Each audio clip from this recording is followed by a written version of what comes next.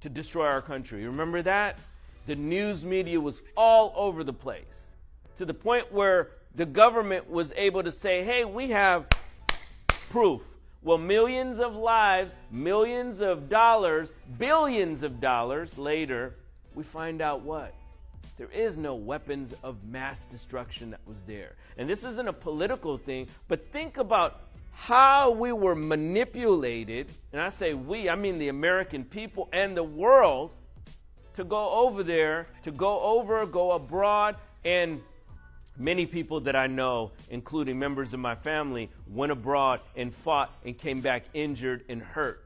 There are millions of people, yes, millions and hundreds of thousands that came back injured, and not to mention the type of damage that we did to other places as well. Think about that. All because the media or the news wanted to report one way or another. Don't be a puppet or a victim to information because